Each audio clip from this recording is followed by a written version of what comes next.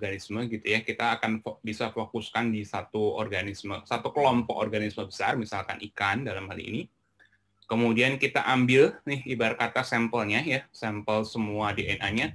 Kemudian kita amplifikasi sehingga kita menargetkan hanya beberapa sequence yang ada dalam satu sampel, kemudian kita sequence. Biasanya kita pakai NGS. Kemudian nanti finally kita dapatkan uh, biodiversity ini ini biasanya kita sebut heat map ya. Uh, apa heat map jadi uh, mapping panas. eh tapi intinya adalah ini adalah gambaran biodiversity dalam setiap sampel yang kita dapat kita kumpulkan. Nah, uh, apa sih kurang lebih bedanya DNA barcoding dengan meta barcoding?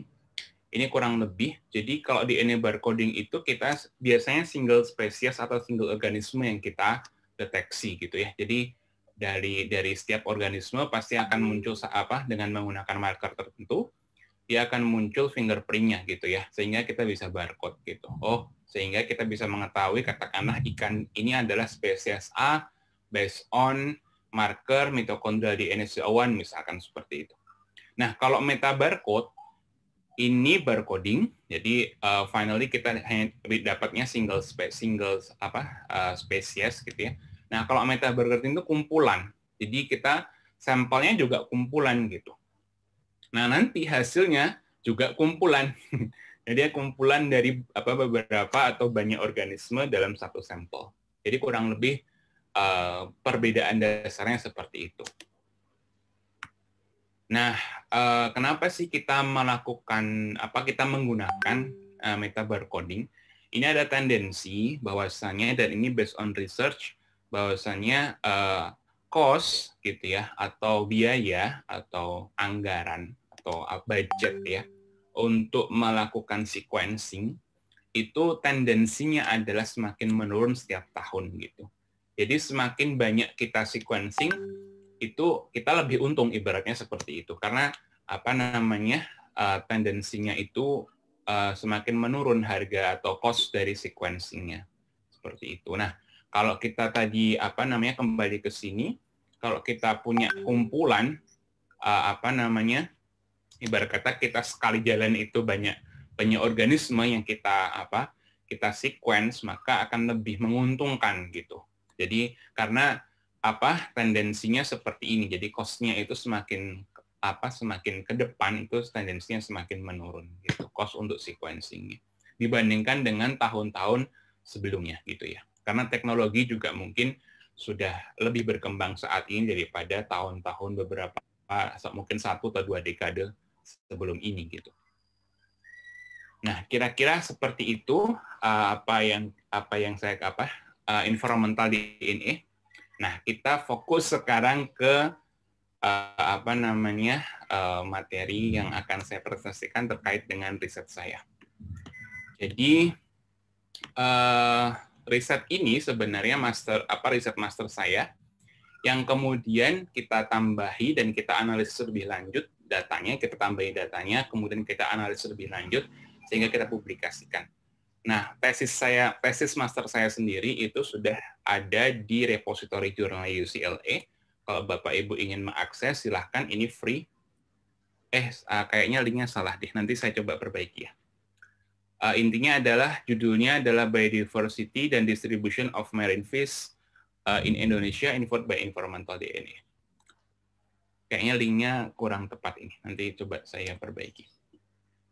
Kemudian, nah ini adalah publikasi uh, dari mas, tesis master saya yang saya publikasikan di uh, Jurnal Environmental DNA. Sudah accepted with minor revisions. Kemudian, tapi untuk sementara press release-nya ada di BioRix apa ya BioRX fix ini. Uh, kalau ini linknya kayaknya sudah benar. Uh, begitu kurang lebihnya. Nah, uh, apa sih latar belakang kenapa saya melakukan riset environmental DNA gitu ya? Uh, molecular analysis of environmental DNA has been available. Jadi tadi saya sampaikan awalnya itu um, metode ini itu dikembangkan oleh teman-teman mikrobiologis uh, khususnya mikrobiologi tanah sebenarnya. Kemudian ini sudah berkembang gitu ya sehingga kita bisa menggunakan environmental DNA itu untuk memonitor marine biodiversity. Tapi sementara ini juga metode ini masih sangat terbatas, artinya masih belum banyak digunakan orang gitu. Padahal sebenarnya metode ini sangat promising gitu ya, sangat menjanjikan gitu. Tapi apa namanya? Mungkin pengetahuannya belum nyampe gitu. Jadinya uh, mungkin belum banyak yang mengetahui hal ini. Makanya perlu perlu apa namanya? Sosial, sosialisasi lebih lebih lanjut gitu ya. Diinformasikanlah ke teman-teman gitu gampangnya seperti itu. Kemudian adanya keterbatasan pengetahuan mengenai uh, spatial distribution dari marine vertebrates khususnya ikan di Indonesia ikan ikan karang gitu ya. Uh, nah riset ini sendiri bertujuan untuk melihat uh, apakah environment apakah environmental DNA method ini efektif digunakan uh, di region yang kita yang exceptional biodiversity artinya maksudnya adalah kita negara mega biodiversity apakah EDNA itu cocok dan efektif gitu ya untuk dipakai uh, dalam hal monitoring biodiversity di Indonesia contohnya seperti itu. Eh salah. Nah, kemudian yang kedua, kita juga ingin tahu apakah EDN ini bisa mengcapture, bisa me, me, apa ya, menangkap ya, menangkap dan memperlihatkan uh, fish by fish diversity dan kemudian kita coba untuk uh, compare dengan traditional survey method. Dalam hal ini adalah uh, visual census method gitu ya.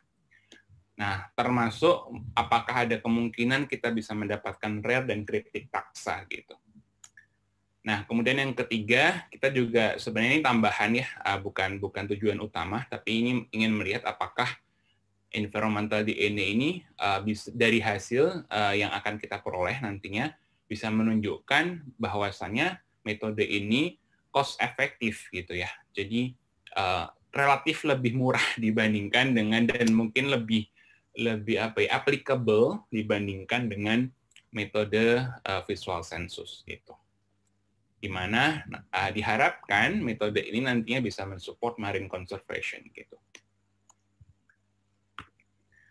Kemudian metode riset uh, yang saya lakukan, jadi uh, ada saya sampling di tiga tiga wilayah yang berbeda. Yang kita tahu semua bahwasannya uh, eh sorry tiga seascape ya. Dalam hal ini uh, outset coral triangle, kemudian lower biodiversity regions, dan high diversity regions. Jadi ada tujuh lokasi di Aceh dan Batam Bintan. Ini yang mewakili outside coral triangle.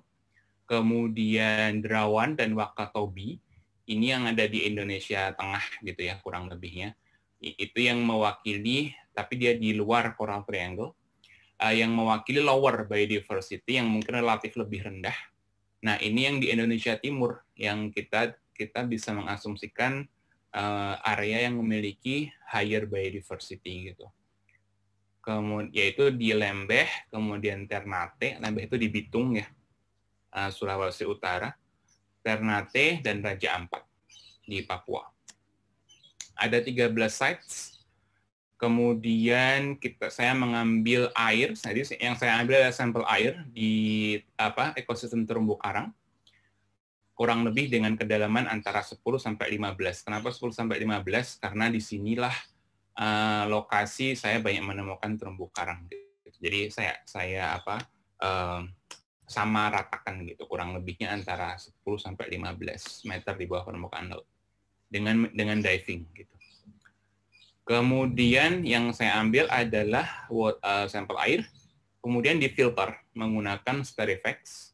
Nama filternya Sterifex filter, uh, produknya Milliport, dengan port size-nya 0,22 mikrometer.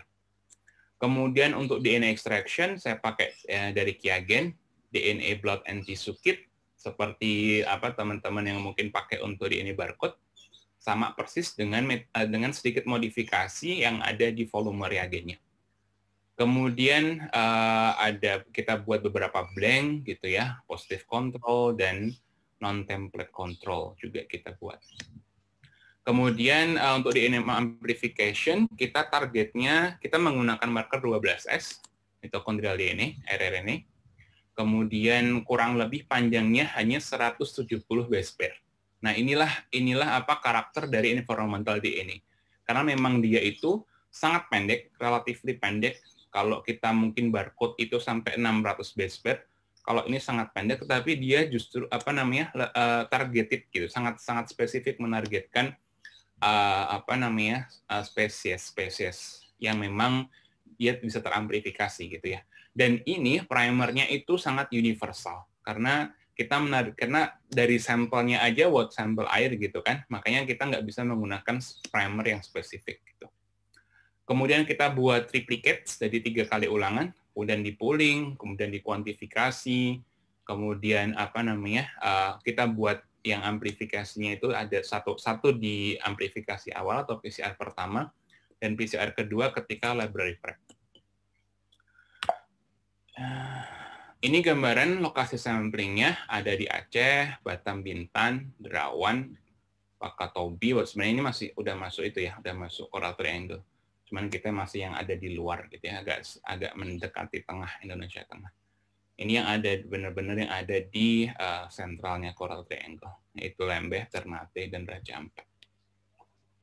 Kemudian ini lokasi samplingnya uh, ini uh, ini sebenarnya adalah video YouTube gitu ya. Uh, tapi nggak saya linkkan di sini karena terlalu besar filenya.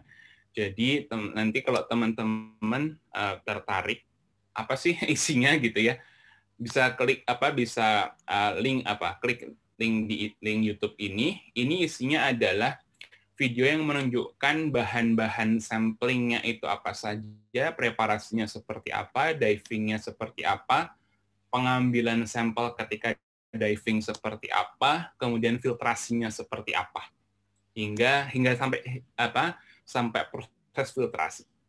Nah kalau lebih lebih uh, mudahnya buka YouTube, klik uh, ketik aja idna underscore methods underscore bahasa, pasti ketemu video ini. Ini saya buat sendiri, jadi ini suara saya, tapi yang ada modelnya itu teman saya yang apa PhD di satu lab yang yang menunjukkan saya yang pengisi suaranya. Kurang lebih seperti itu. Jadi kalau teman-teman tertarik silahkan akses YouTube, ketik aja idna underscore methods underscore bahasa, uh, pasti ketemu video itu. Ada detail bahan-bahan sampling yang saya gunakan untuk uh, dalam riset ini. Kemudian di sini ini juga informasi kita kita juga me, apa, membandingkan gitu ya uh, visual census method uh, dengan IDNA method. Ini maksudnya adalah gambaran IDNA kita bandingkan nantinya. Jadi seberapa apa namanya? seberapa apa bukan efektif ya. Seberapa kuat uh, environmental DNA bisa mengcover uh, data dari visual census. Oke. Okay. Uh, kalau ada pertanyaan silakan ditulis dulu di kolom chat nanti kita bisa diskusikan. Jadi kemudian setelah di kita buat apa PCR, kita amplifikasi, kita kuantifikasi, kemudian kita buat library prep-nya. Uh, kit yang saya gunakan pakai Illumina, uh, mesinnya juga pakai Illumina MySeq. Platformnya MySeq ya. Kemudian uh, apa NG, pakai NGS MySeq platform uh, menggunakan 300 base pair setelah masuk sequencing, sequencingnya saya, saya apa namanya uh, beberapa ada di UCLA dan UC Berkeley, saya lakukan di sana. Kemudian untuk pipeline uh, nanti kita akan diskusikan lebih lanjut di bawah. Jadi ini sekilas mengenai pipeline. Uh, setelah kita mendapatkan FastaQ dari uh, sebagai keluaran dari apa uh, mesin NGS, uh, kemudian file FastaQ tersebut masuk ke pipeline Nah, pipeline-nya dinamakan sebagai anak kapak. Ini adalah produk dari teman-teman UCLA dan UC, beberapa UC yang lain. Uh, anak kapak, detailnya lebih lanjut nanti ada di bawah. Kemudian ini beberapa apa yang terjadi, apa yang dilakukan anak kapak terhadap file FastaQ. Jadi dia creating de novo sequence reference library, kemudian pakai Dada2 untuk apa namanya QC, quality control-nya, kemudian denoising er, apa dia menghilangkan noise-noise-nya dan error, kemudian bot itu untuk assign taksonom apa taksonnya uh, dengan apa namanya pendekatan BCLA Bayesian Least Common Ancestor. Kemudian sampai akhirnya ditemukan uh, didapatkan ASV. ASV itu amplicon sequence variance. Kemudian uh, statistik analisisnya kita saya kita menggunakan R dengan beberapa packages, uh, contohnya Philosophic, DevTools, Vegans dan lain-lain. Nah ini ini adalah publikasi dari pipeline anak kappa sudah dipublikasikan. Kemudian untuk pipeline yang lain yang kita buat juga itu uh, namanya Puma. Ini khusus untuk mikrobia dengan marker 16S rRNA, mitokondrial DNA. Uh, mungkin teman-teman kalau tertarik membaca silahkan uh, anak kapal toolkit pasti ketemu dah di Google Scholar. Kemudian Nah, ini uh, GitHub-nya uh, untuk apa namanya teman uh, kalau tertarik apa yang tertarik silahkan akses GitHub-nya. Situ ada ada informasi mengenai pipeline ini. Dibuat tem apa teman si Emily dari UCLA. Kemudian, nah ini, jadi apa sih yang terjadi dengan anak apa ya? Yang terjadi dengan anak apa adalah pertama ketika kita memasukkan FASTA-Q ke dalam pipeline anak kappa, jadi si anak kappa itu uh, membuat apa ya? Eh, sorry, membuat uh, reference library. Nah, cuman perlu di perlu di apa ya? Perlu diketahui bahwasanya reference library yang dibuat oleh si si anak kappa ini ya melalui namanya Crux Creating Reference Library Using Existing Tools itu bukan di-download dan downloadnya itu disimpan. Tidak seperti itu. Tapi kita sistemnya retrieve. Jadi kita download, kemudian kita pakai datanya, kemudian kita kembalikan lagi ke Jinbei. Seperti itu kurang lebihnya. Nah, jadi uh, ini inputnya primer, kemudian amplicon uh, size in base, uh, intinya adalah primer dan uh, FASTA-Q file yang kita dapatkan dari mesin NGS.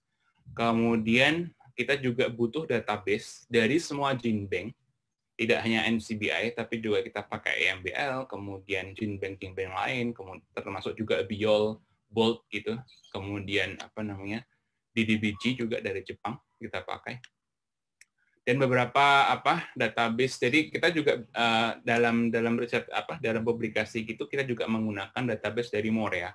Morea itu Morea itu satu kepulauan di Pasifik Selatan uh, apa namanya yang juga sudah beberapa database dari situ kita pakai untuk uh, membuat reference library. Uh, kemudian masuk ke Crux, kemudian apa namanya dengan beberapa package uh, di blast itu ya dibuka lah gampangnya FastAQ-nya dibuka, kemudian di blast, kemudian uh, apa namanya hingga dicocokkan gitu ya assigning dengan uh, apa namanya dengan database gitu intinya. Kemudian dengan beberapa apa namanya uh, package di dalamnya ketika running uh, uh, anak apa. Kemudian ke step selanjutnya yaitu QC. Jadi setelah si kita apa setelah assigning selesai gitu ya. QC-nya adalah uh, dari sekuen-sekuen yang sudah di assigning itu tadi, itu akan muncul beberapa jenis uh, sequence. Ada yang uh, forward reverse-nya itu uh, cocok gitu ya, match gitu ya. Kemudian ada yang dia match hanya di sebagian gitu ya, hanya hanya mungkin kurang dari tiga kurang dari sekitar 30 persen. Jadi match tapi uh, istilahnya nggak match bener gitu. ada yang forwardnya sendiri, reverse-nya sendiri gitu-gitu. Nah, itu uh, kita kita pisahkan itu semua. Jadi yang kita pakai itu yang yang benar-benar match antara forward dan reverse-nya gitu. Nah, kemudian juga apa kita menghilangkan uh, apa namanya? Ini inputnya adalah uh, apa tadi ya hasil FASTA-Q, kemudian Illumina sequence adapter tadi masih di sini masih di apa uh, setelah di ini masih di tahap crux tadi kemudian masuk ke Dadatu untuk QC-nya uh, Dadatu ini apa namanya uh, semacam package juga di R gitu ya. Jadi mostly kita pakai R di di pipeline anak apa dan Python. Kemudian uh, sampai akhirnya dipisahkan gitu ya dipisahkan antara ini ada yang merge, ada yang apa namanya dan uh, nggak merge gitu ya kita pisahkan ada yang merge pair reads kemudian unmerge dan segala macamnya forward reverse-nya yang nggak unpair jadi nggak berpasangan gitu. Kemudian apa namanya uh, kita juga meremove chimeras gitu ya beberapa sequence yang pengganggu yang tidak tidak menjadi target kita yang kadang juga masuk di situ gitu. Kemudian uh, apa namanya dan akhirnya setelah di QC kita masuk ke uh, nah ini classifier menggunakan bot itu uh, dengan tadi Bayesian ya Bayesian ancestor uh, pendekatannya untuk assigning ke arah taksonomi artinya kita mengassign sampai ke level spesies gitu. Nah, finally dengan apa namanya uh, proses itu ini kemudian finally kita mendapatkan taksonomi tabel. Taksonomi tabel itu isinya adalah uh, list of species gitu ya yang terassign uh, dan sudah mengalami proses QC tadi. Kemudian apa namanya akhirnya sampai ke level tertentu. Jadi nggak semua uh, yang keluar di taksonomi tabel ini adalah sampai ke level spesies karena belum tentu uh, sequence yang kita dapatkan itu bisa terassign sampai ke level spesies. Jadi ada beberapa yang cuma sampai level genus, family, gitu ya, kemudian ordo bahkan seperti itu. Uh, sampai di sini, kalau ada pertanyaan silahkan di apa namanya ditulis di kolom chat saja. Oke, nah uh, kita untuk visualisasinya setelah kita mendapatkan apa namanya uh, taksonomi tabel tadi kita menggunakan R Studio. Intinya pakai R lah gitu. Ini contoh contoh visualisasi scriptnya. Nah, apa sih hasilnya? Hasilnya di kita mendapatkan sekitar 4.146 amplicon sequence variants yang terdiri dari atau terbagi menjadi dua kelompok besar, yaitu kelompok teleostei atau apa ikan bertulang keras, kemudian uh, elasmobrans atau ikan bertulang lunak, uh, bertulang lunak, yaitu hiu dan pari. Jadi sekitar 2.300 ASV ada di ikan bertulang keras, kemudian sekitar 1.700 san ASV ada di hiu dan pari. Kemudian uh, untuk sampai ke level spesies itu ada sekitar uh, 2.300-an ASV yang terassign hingga sampai ke level spesies, jadi sekitar setengahnya gitu ya, kurang lebih setengahnya atau 50 persen. Kemudian kalau uh, kita melihat sampai assigning sampai level genus itu ada sekitar 400 ASV yang terassign sampai level genus, level family 66, level ordo, bahkan ada yang sam hanya sampai level kelas gitu, 14 ASV. Nah, ada juga yang dia itu walaupun dia sudah apa keluar dari QC tadi ya, dia tuh apa nggak nggak jelas juga ini. Jadi dia juga nggak apa namanya nggak terassign apa pun tapi dia keluar juga gitu. Karena biasanya ini sequence-nya bagus gitu ya. Kita kan juga punya confidence apa ya istilahnya confidence rate untuk di dalam QC-nya kita bisa tentukan itu.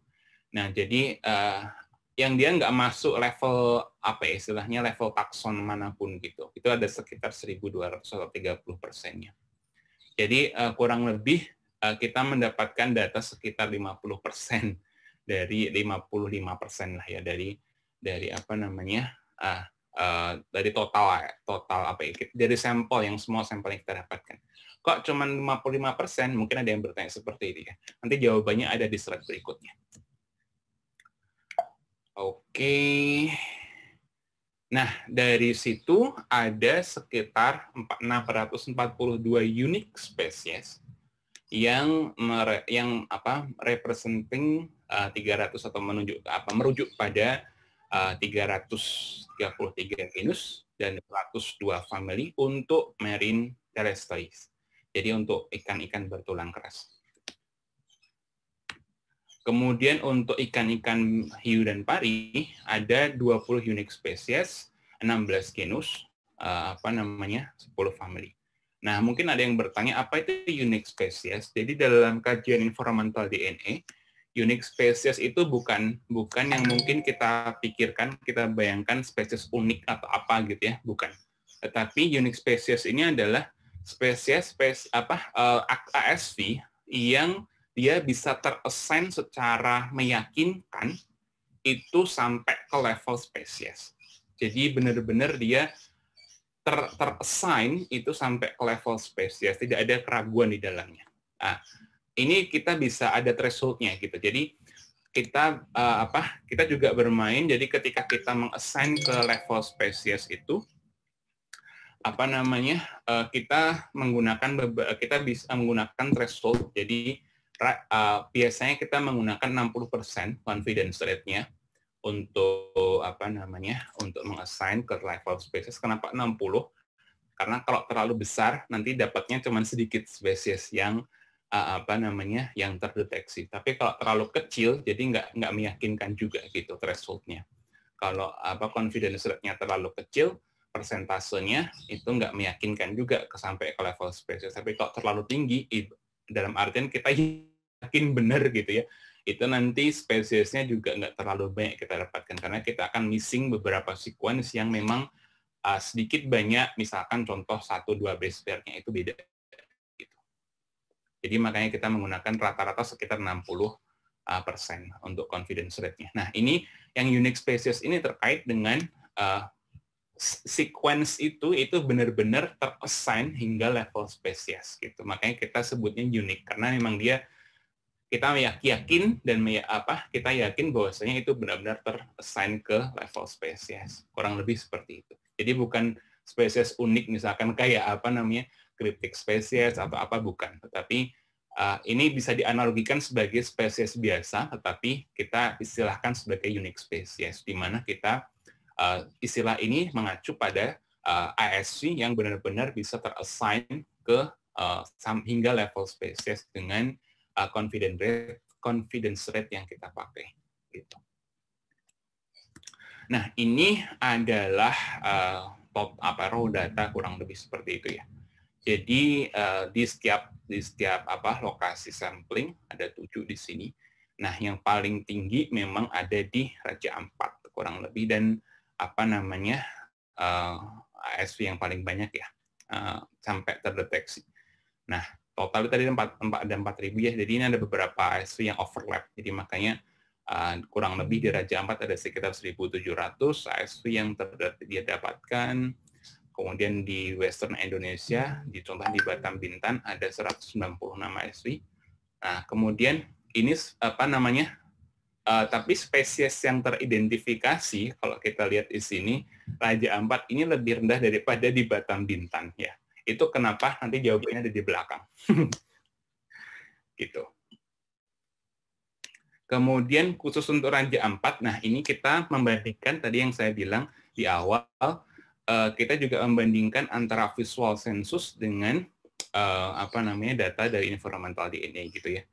Di sini ada data total ASV, jadi kita fokus membandingkan itu di Raja 4 karena kita istilahnya pertama uh, reasonnya adalah atau alasannya adalah data visual census yang kita dapatkan dan itu lengkap gitu ya berkata kita bisa bisa meyakini data itu adalah data dari Raja Ampat gitu.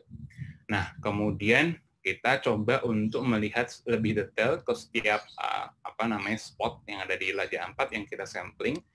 Nah, ini kurang lebih hasilnya. Nah, jadi di sini uh, apa namanya? Uh, memang kelihatan di beberapa lokasi di apa sebagian besar lokasi ini environmental DNA itu tidak bisa mengcover uh, apa data dari visual census. Kurang lebih contohnya misalkan di Anita Garden itu kita hanya mendapatkan 60 spesies dari apa namanya dibandingkan dengan visual census yang ada sekitar 218 spesies. Tapi di beberapa tempat yang lain, uh, contohnya di Kabui Street, environmental DNA itu unggul gitu. Nah ini uh, kemudian di visual censusnya lebih rendah gitu ya. Tapi secara umum uh, apa namanya environmental DNA bisa mengcover kurang lebih separuh atau mungkin lebih di beberapa set ya uh, apa namanya uh, dari coveran visual census gitu. Ada juga beberapa spesies yang overlap di sini. Kurang lebih seperti itu. Nah ini sangat menarik. Jadi uh, apa namanya nanti alasan-alasan kenapa kok seperti itu ada di discussion nanti kita diskusikan. Uh, ini kurang lebih hasilnya seperti itu. Nah ini uh, tampilan atau visualisasi dari alpha biodiversity yang kita lihat per sites, per lokasi, per region gitu ya. Kemudian kita uh, ini contohnya misalkan uh, nampak di sini misalkan di Raja Ampat uh, uh, total ASV atau rata-rata jumlah ASV per sites itu relatively dan significantly berbeda dengan di Batam Bintan gitu ya. Kemudian ini ini pendapatan apa uh, apa ya istilahnya um, jumlah ASV yang didapatkan gitu ya. Nah ini sebagai pembanding juga, ini yang sangat ya saya juga kaget, apa, cukup kaget juga ketika dibandingkan dengan data dari Southern California. Itu belum apa-apanya gitu. Di sini ASV-nya ini pada Southern California itu dari mulai Oregon di utara sampai uh, San Diego, eh, San, San Diego ya, ya di selatan. Jadi ini data dari Southern California.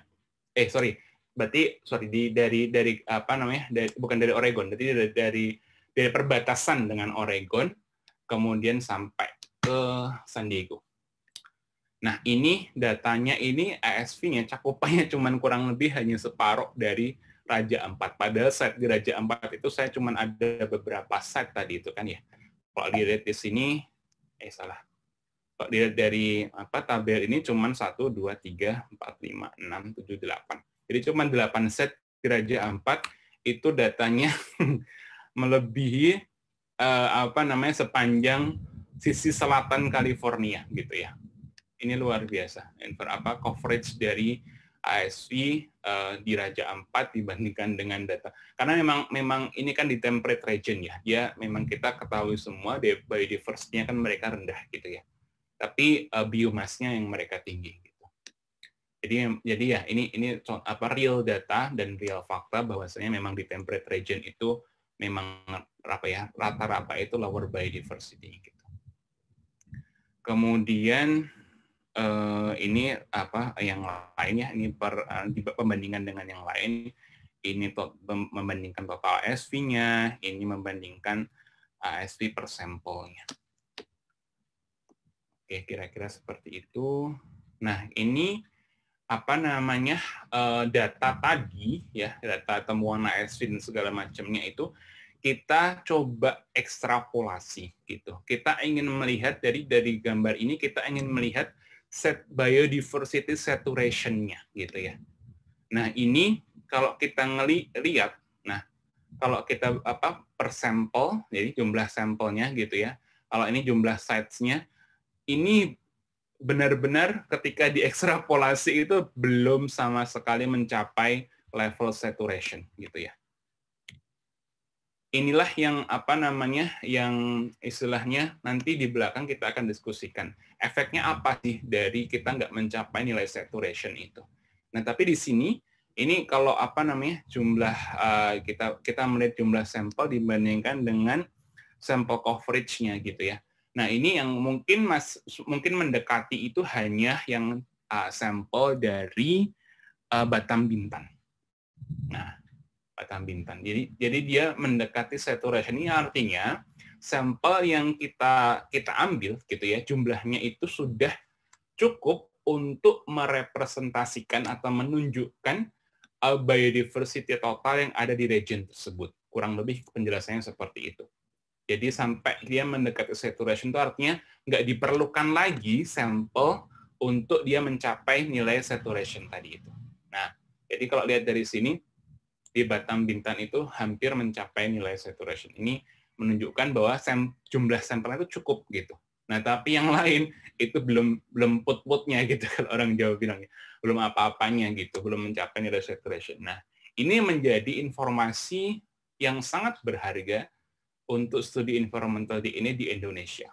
Ya, kenapa? Ternyata jumlah sampel itu sangat berpengaruh terhadap coverage biodiversity di, di suatu region gitu.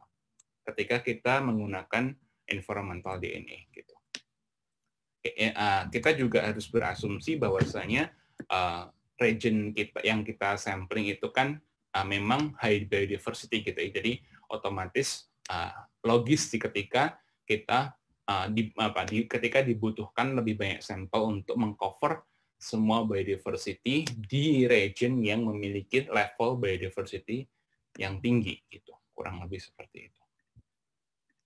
Nah ini uh, beta biodiversity-nya. Jadi uh, apa namanya dari semua region kita bandingkan uh, biodiversity-nya ternyata Batam Bintan itu terpisah uh, apa namanya uh, sangat berbeda gitu ya uh, dibandingkan dengan wilayah yang lain gitu. Ini ini istilahnya apa ya bercampur gitu ya.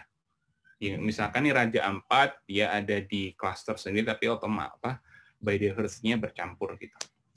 Kemudian ini dari Lembeh Strait dia punya cluster sendiri tapi secara umum dia uh, sama dengan apa uh, istilahnya uh, heterogen, eh, apa homogen gitu ya. Kalau di sini Batam Bintan itu uh, apa namanya dia terpisah sendiri klasternya. Jadi artinya ini menunjukkan bahwa saya memang ada apa ya istilahnya ada community tersendiri uh, biodiversity community yang terbangun di wilayah Raja uh, di wilayah Batam dan Bintan. Oke, kemudian ya ini hal baru mungkin buat teman-teman ya yaitu zeta diversity. Apa itu zeta diversity? Yaitu kita ingin melihat ya measure the degree of overlap between any sets of cross atau greater observed communities. Jadi kita ingin melihat level level apa ya um, overlapping biodiversity tapi dia across community gitu. Bahkan across sample across sampling strata gitu ya. Ini penting untuk teman-teman yang memang fokus di ekologi kemudian uh, ingin melihat apa perubahan komunitas seperti itu. Nah zeta biodiversity itu bisa dipakai di sini ini belum belum umum dipakai secara umum tapi ini sang uh, apa namanya uh, dia promising untuk melihat apa ya istilahnya uh, overlapping community dalam suatu ekosistem seperti itu. Nah ini kita pakai juga di sini. Jadi dia allows atau dia mengkalkulasi diversity matrix gitu ya partikulari uh, dengan uh, apa difokuskan pada skill dan shape of community turnover. Jadi perubahan komunitasnya seperti apa. Gitu. Nah, kemudian matriksnya itu apa? Apa yang apa yang diukur di dalam zeta biodiversity yaitu zeta diversity decay, kemudian species retention rates. Nah, itu men, uh, mengukur decreasing number of shared taxa. Jadi uh, apa ya? melihat atau mengukur uh, perubahan uh, atau berapa banyak taksa yang dia sharing, kemudian bagaimana perubahan apa struktur komunitasnya, kemudian apakah apakah banyak lebih banyak spesies yang overlap, apakah apa namanya uh, komunitas itu dia berubah total atau bagaimana? Ini uh, Pentrix ini yang akan mengukur gitu. Nah, keywordnya adalah high number zeta diversity-nya. Jadi ada ada ada numbernya gitu ya, ada ada levelnya gitu itu menunjukkan dia itu decay-nya itu uh, slower. Dia uh, istilahnya apa ya decay itu bisa dibahasa mudahkan itu adalah uh, kehilangan, kehilangan apa namanya? kehilangan spesiesnya itu slow, slower, jadi lebih lambat gitu ya. Kemudian ya, nah, tapi uh, rat apa kecepatan dia untuk mempertahankan atau menyimpan uh, spesies dalam suatu ekosistem itu Eh, relatif lebih tinggi gitu. Kalau dia decay-nya slower berarti rise apa, uh, pen, apa penangkapan atau penyimpanan spesiesnya itu lebih tinggi. Nah, kemudian otomatis dia perubahan komunitasnya juga rendah gitu ya dibandingkan dengan apa namanya uh, antar sites-nya gitu. Nah, tapi tapi overlap spesiesnya itu juga lebih tinggi gitu. Jadi ini, ini konsekuensinya gitu. Kemudian dia otomatis dia juga karena dia overlap berarti sharing sharing apa namanya overlap per sets ya gitu maksudnya. Jadi setiap sets itu mungkin ada spesies yang sama gitu. Itu lebih tinggi dibandingkan uh, ketika higher number-nya itu uh, higher number of zeta diversity-nya itu tinggi gitu ya. Kemudian uh, apa namanya lebih banyak juga spesies yang sharing. Jadi jadi pasti karena overlap tadi lebih banyak pasti spesies sharingnya antar setnya juga lebih banyak. Jadi kata kuncinya di situ. Nah, ini hasilnya dari kita. Yang paling tinggi di sini ya, itu ada high apa zeta diversity number-nya itu ada di Batam dan Bintan. Itu dia mengindikasikan decay rates-nya itu rendah. Gitu ya. Jadi dia tapi retention rates-nya itu uh, apa namanya tinggi gitu. Jadi dia masih mempertahankan komunitasnya gitu. Nah, makanya tadi kita kembali kalau kita kembali ke slide yang sebelumnya, itu dia assigning biodiversity-nya itu lebih banyak dibandingkan dengan apa namanya di di set yang lain, di region yang lain. Bahkan dibandingkan dengan Raja Ampat. Artinya kalau kita lihat di sini di Raja Ampat itu dia cenderung rendah bahkan sampai men, apa mendekati nol gitu ya. Ini artinya spesies perubahan komunitasnya itu sangat tinggi di Raja Ampat. Nah, otomatis ini ini apa namanya?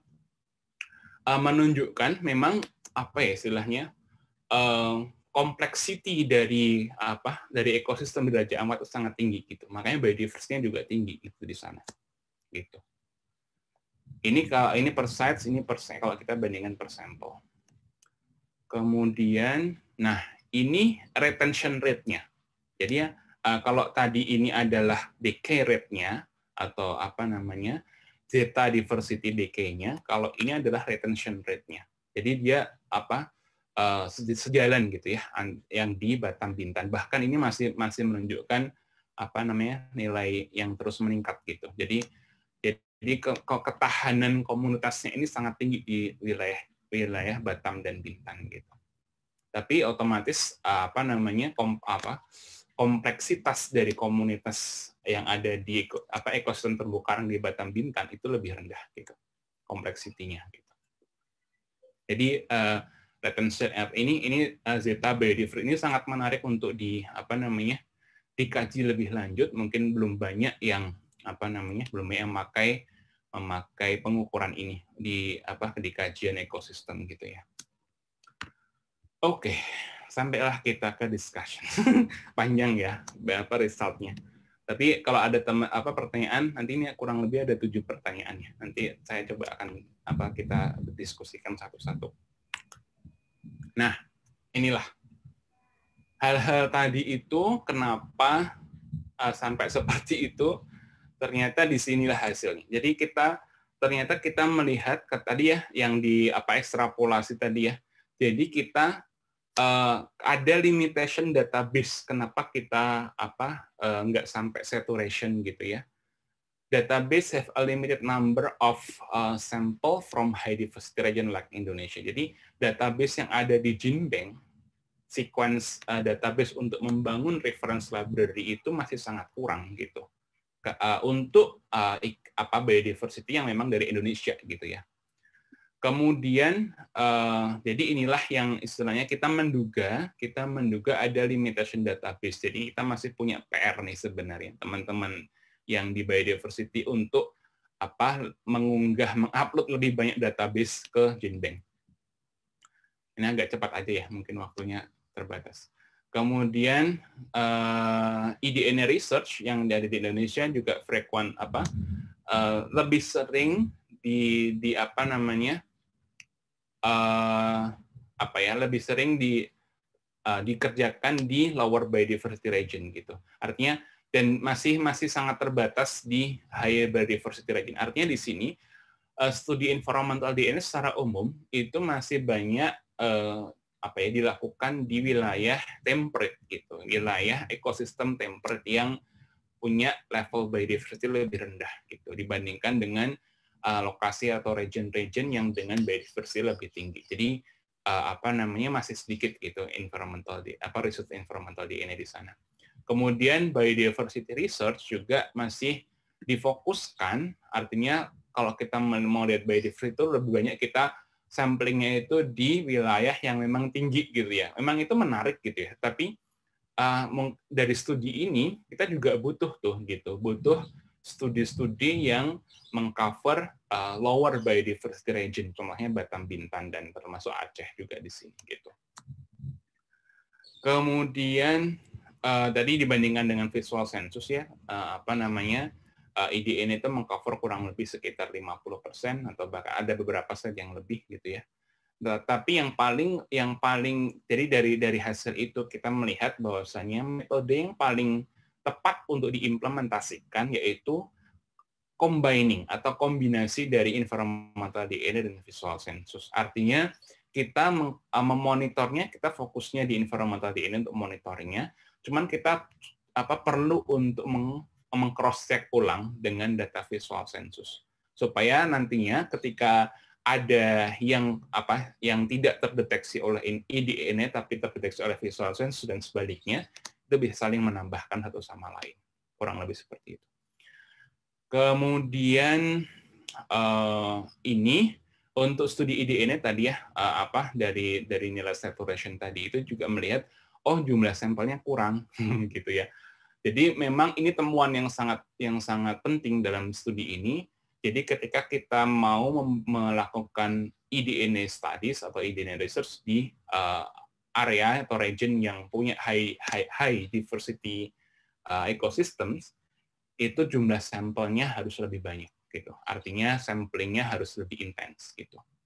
Kemudian, nah ini di studi kita amonnya itu lebih rendah gitu dibandingkan dengan sam, uh, aktivitas karena sampling yang sampling yang saya lakukan itu cuman kurang lebih tiga hari gitu kurang lebih di Raja Ampat tiga hari di Derawan tiga hari dan segala macamnya gitu ya.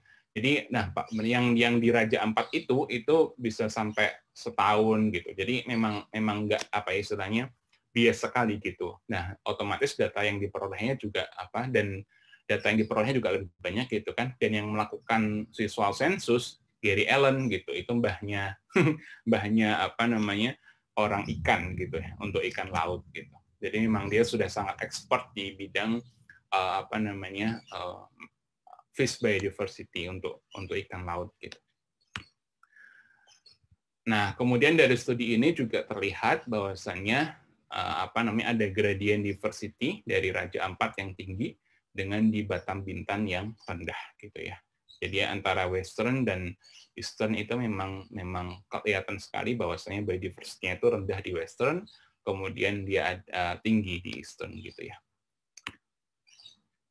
Nah, ini prospek ke depannya uh, IDN itu sangat sangat valuable gitu ya untuk me, apa digunakan untuk mengexamine, mengakses, meng, mengakses gitu ya, mengakses biodiversity yang dia itu varietasnya uh, sangat sangat beragam gitu. Ada di western, ada di eastern gitu ya, yang dia apa higher dan lower biodiversity gitu ya.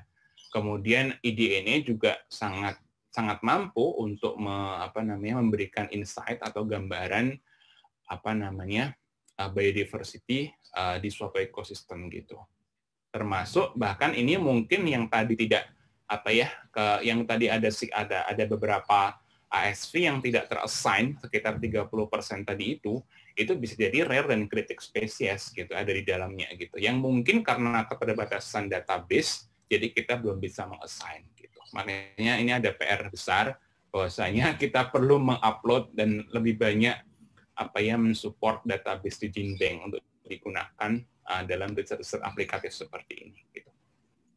Oke, okay, conclusionnya uh, apa namanya? Jadi uh, kita membutuhkan lebih banyak sampel untuk untuk studi di environmental DNA di uh, higher biodiversity ya region gitu. Kemudian jelas, uh, terbukti bahwasanya environmental DNA itu mampu untuk melihat untuk digunakan dalam monitoring secara temporal dan spasial gitu ya untuk mensurvey uh, biodiversity secara cepat gitu ya. Kemudian uh, apa namanya investment in the creation of more comprehensive reference database ini tadi PR tadi itu ya itu sangat diperlukan. Jadi kita apa namanya mengupload data lebih banyak lagi ke Jinbeng untuk mensupport riset IDN.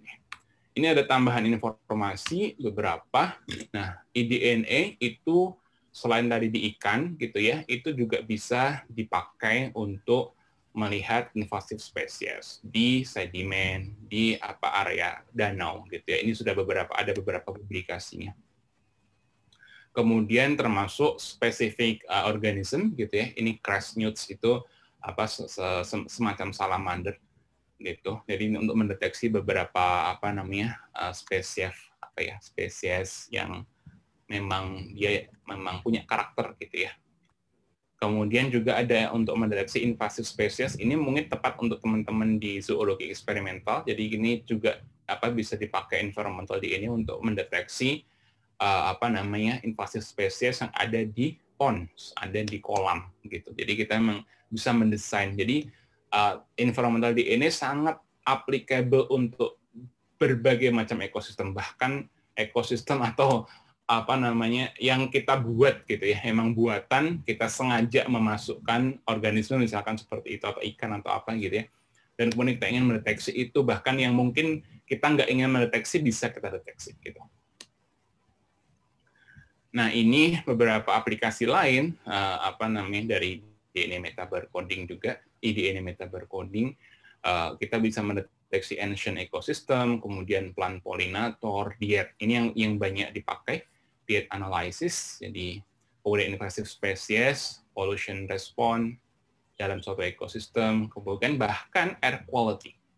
Jadi ini saya duga SARS-CoV-2 ini bisa terdeteksi kalau dia benar-benar airborne ya. Apa namanya? Uh, uh, istilahnya dia terbang terbang gitu bisa jadi dia bisa terdeteksi juga oleh metode dengan metode ini. Nah, ini informasi terkait dengan UC Conservation Genomic Consortium. Saya ada di situ sebagai anggota. Jadi UC, UC secara umum membangun uh, sebuah konsorsium, genomic konsorsium yang isinya adalah semua uh, UC itu ada 10 university. Jadi apa namanya semua UC ada di sini, termasuk UCLA dari situ. Nah, ini uh, ada konsorsiumnya. Jadi kita punya suatu konsorsium yang menaungi itu semua Kemudian ini adalah bagian dari konsorsium itu yang fokus ke environmental DNA gitu. Yang teman-teman di laboratorium. Namanya California eDNA atau Cal eDNA. Nah, ini adalah uh, research PhD saya, yaitu saya ingin mendeteksi keberadaan dari uh, solakan yang ada di Raja Ampat, khususnya di Waigyo. Jadi, kenapa saya tertarik dengan ini? Karena ada temuan solakan di Waigyo di tahun 2018 dan 19 uh, terpancing oleh nelayan. Jadi di, selain di Manado ternyata dia sudah sudah agak bergeser gitu ya ke lebih ke timur ke Raja Ampat. Jadi saya ingin uh, apa mengembang atau mendevelop suatu apa mendevelop metode environmental DNA untuk mendeteksi adanya keberadaan solakan gitu di di Raja Ampat. Oke, mungkin itu yang bisa saya sampaikan. Ini ada ada berapa pertanyaan ya? Saya nggak tahu. Uh, dalam kesempatan kali ini, uh, nanti coba saya kita diskusikan satu-satu pertanyaannya. Saya kembalikan ke Mas Tikna. Terima kasih Bapak Ibu sekalian atas perhatiannya. Oke.